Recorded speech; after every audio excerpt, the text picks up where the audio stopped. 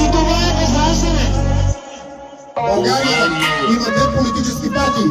Възраждане и всички останали. Не заплашва и цифрна инфлация.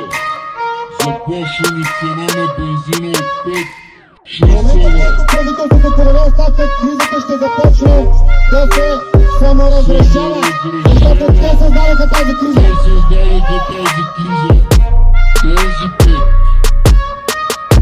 България има две политически партии.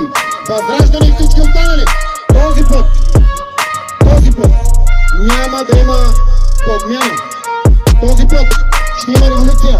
И революцията вече започна. Ако тези хора продължат да управляват, ни заплашва двуцифрена инфлация, заплашва ни цена на бензина от 5-6 лева, заплашва ни сток на цените на хляба, заплашва ни сток на цените на всички храни.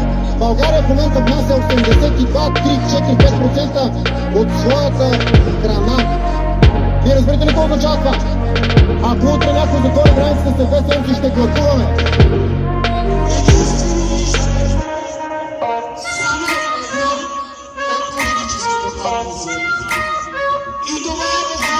Инфлация.